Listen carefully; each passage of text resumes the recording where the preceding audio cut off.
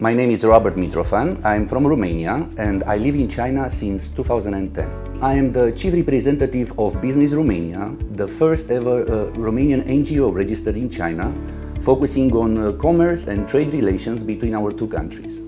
From commerce and trade of agricultural products and FMCGs to renewable projects, therefore, over the years, I witnessed significant changes in the business field in China.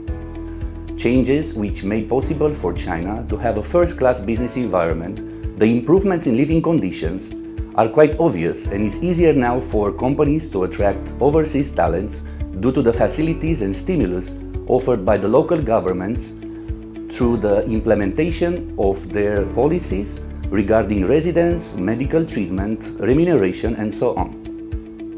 In the same time, I witnessed the implementation of global initiatives proposed by China, beginning with 2013, such as Belt and Road Initiative Made in China 2025. All these international programs wouldn't be possible without a strong and healthy domestic business environment. The third plenary session of the 20th CCP Central Committee adopted a broad range of reform measures to be implemented over the next five years.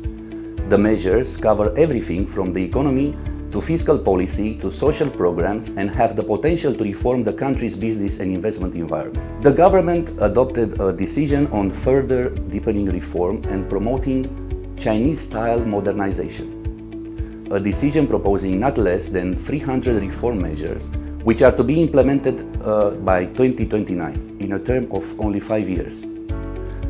The reform measures keep the country on the same development trajectory with a focus on prudent uh, fiscal and monetary policy, gradual market opening, the strengthening uh, of supply chains, and the pushing for science and technology innovation, among others. Companies, investors, and other stakeholders should pay close attention to the measures proposed uh, for their respective fields and industries as they provide a blueprint for the development of various aspects of the economic and regulatory environment.